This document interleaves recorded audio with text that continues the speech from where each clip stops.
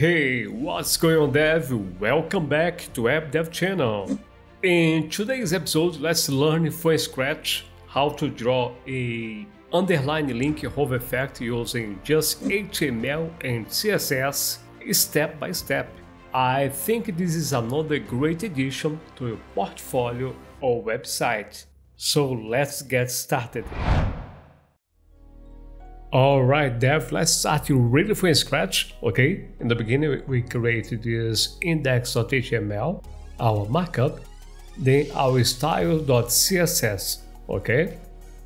Once we have those, we need to create a boilerplate, okay? So let's come here, hit exclamation and tab, and yeah, we have our boilerplate, okay? It's quite simple. Now we hit tab a couple of times and we go to the title. And here in the title, let's say the name of the project, okay, or wherever name you prefer. In our case, let's say go underline hover effects. Okay, it's more than one. We have the underline and change the color. And below that, a link connect to our markup to our CSS. Now let's move to the body and here in the body is gonna be a quite simple markup, okay? Let's have our nav, then UL, unordered list. We need four allies. And inside of these allies, we need anchor tags pointing to nowhere, okay? As you'll note, we are using Emmet because it makes it easier, but if you want, you can use the regular way, okay? Let's come here to the, our allies and the first one is gonna be home, the second one services, then we also have contact and the last one is gonna be about, okay?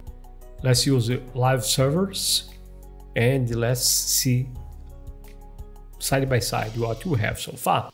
Looks like we have a very ugly list.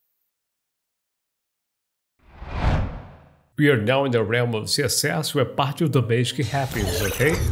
Let's start out by changing the font. We want to use the Poppins, okay? We just copy and paste it here. We are not using that yet. Now let's move into our CSS reset. But before I have a reset, our CSS reset, allow me to show you why we need that. Let's go to the body and I'm gonna show you why okay? I'm gonna show you a border around it okay? Different browsers offer different margin and padding okay? If you're in safari if you're in firefox or chrome a different one offer different margin padding.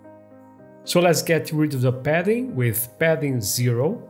Get rid of the margin also with margin zero. Box sizing we want that to be border box and yeah as you can see it's done so now we no longer need this border. Let's get rid of this one. And instead, let's give it a color, okay? A nice background color.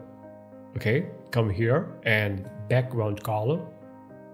Let's say something like 0A, 0A, 0A. As you can see, we cannot see the font right now. So let's give it a white color, like RGB 226, 226 and 226 and yeah we have it. And now going from the top to the bottom we want to apply some style to our node list okay? As you can see right now the our list is on the top of each other they stack and we want them to be horizontal okay? So let's make a couple of changes. First of all let's come here to the line 16 and unordered list the height, we want that to be 100 VH, okay? The width, 700 VW. And we also want to apply a mean width of 600 pixels, all right? And now let's use the display flex, as you can see, put putting side by side, align the center along the cross axis, and justify content we want to space them around, okay? Give some space in between them. Alright? As you can see, it's much better now. One last thing we're gonna do here is apply margin auto. Alright? As I told you, let's go from the top to the bottom. Okay, it was unordered list. And the next in the line is gonna be the list. Okay. First of all here, let's give it a position of relative. Okay. We will also need a list style none, get rid of these ugly bullet points. Okay, let's come back here, there is more things to do. The font family, now we're gonna apply the Poppins from Google Fonts, okay? So you have Poppins, and as a fallback plane, we have sans serif, okay? Let's also change the color here. It's gonna be A0, A0, A0. We should also change the font size, okay? Font size 18 pixels, make it a little bigger. Let the space in between the characters is gonna be 0.5 pixels.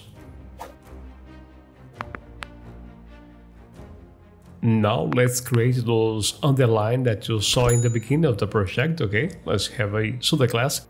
The pseudo class after and here content is gonna be nothing as usual, okay? And uh, position is gonna be absolute. The background, let's pick a reddish color, okay? It's gonna be this FF3 C78. The height is gonna be 3 pixels. You can change and work with your own numbers. The width is gonna be 100% of its parent, okay? As you can see, we have it, but they are not in the right position, as you can see. So let's fix also that. Down here, let's have the left zero. Put them in the right position. And from the bottom, we want that to be minus 8 pixels, okay? Now let's create that animation, okay? First of all, let's make them a little bigger, 0 padding top and bottom and 10 pixels left and right, okay? Make it bigger. But as you can see, we have done the line without a animation and we want them to have animation, okay? So let's do something very simple here. Let's create a hover effect. Let me show you here. Let's grab the list and apply the hover effect. Hover. And let's have a pseudo class after. And it's gonna be actually very simple. Right now the width is 100%. And let's change that to zero so you see nothing. And when you hover over this one, it goes back to 100. Let me show you. It's happening. It's not beautiful, but right now it's happening. Okay. So in order to make it more natural, let's use some transition. Okay. The transition is gonna be all dot five seconds and easy. Now let me show the difference. Yeah, much more beautiful. Okay, it's working nice. But as I told you, we have more than one hover effect in this one. We also want to change the color of the font. So the li hover, let's also change the font color. So the color here is gonna be white. And now allow me to show you the difference, okay? Take a look at this. We have the underline and also the font is changed. So it's a nice effect. Okay dev, that's all for today. I really hope you like it. If you like it, you know what to do. Subscribe and just click that little bell down below so you get notified every time I post a new video. Bye bye.